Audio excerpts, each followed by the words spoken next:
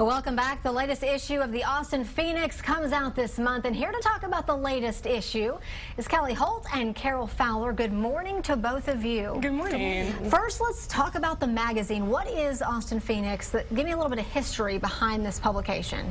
So the Austin Phoenix is a quarterly publication based out of Austin, Texas. Um, it's about local entrepreneurs and startups um, in the city. So each issue that we come out with, we feature three to four different startup or, or, entrepreneurs in Austin.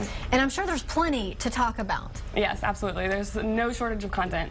Yeah, so just a, a few weeks ago, a few weekends ago, I actually interviewed someone on the hottest tech gadgets of 2014 and some predictions. And uh, one of the things that he was talking about were the wearables. And you just wrote an article that's coming out in the latest issue about these wearables and a local company who's getting in the business. Correct, correct. That's Atlas Wearables, um, and it's completely different from any other wearable technology technology out there right now. It tracks and identifies essentially any activity at the gym and variations in those exercises. Um, it's actually available for pre-order right now uh, via contributions to their Indiegogo campaign, which has just extended um, an extra month. They're doing really well. Um, it's really exciting.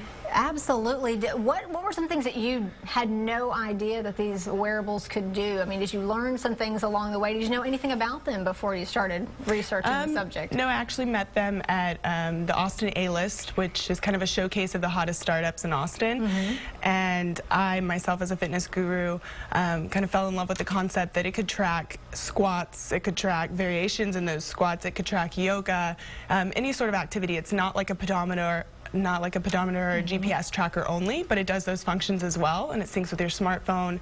Um, it's really going to change the way uh, I think that people relate to the gym. Yeah, so. I'm so old school with my phone app, trying to do Map My Run with, the, with the map. That's as far as I have gotten. So what else can people expect when they pick up the magazine? And is it a monthly magazine? It's quarterly currently. Okay. So every three months we come out with a new issue, um, and this is actually the last issue that we came out with um, mm -hmm. in October and I brought a copy for you. Oh, great. Um, essentially, I mean, we discuss different entrepreneurs and startups, but we also have complimentary um, content in there. So business advice, marketing advice, um, industry news, what's going on in the tech or um, startup industry in Austin. We also include in the magazine as well. Mm -hmm. and then we have a website where we keep rolling content online on the months that we're not producing an issue. And the issues, when we, uh, when we actually come out with a new issue, we produce it in print, digital, and tablet format. Okay. So it's available in several different formats. But the print copies we actually have at the event, and we host events every time we release a new issue. Got it. And so obviously you've got a website of someone saying, how can I get my hands on, on one of these magazines? I mean, it's not just sitting in a stand free. I mean, you're, you're going to subscribe to it. Correct. Yeah, you can actually subscribe to the digital edition for free currently oh. um, via the newsletter, our newsletter online, and mm -hmm. then also our iPad app. We like free. Yeah. well, thank you two both for being here this morning. I'm definitely going to check this out, my evening reading tonight. Thank you so much. And we'll have information about this magazine on our website along with this interview. Let's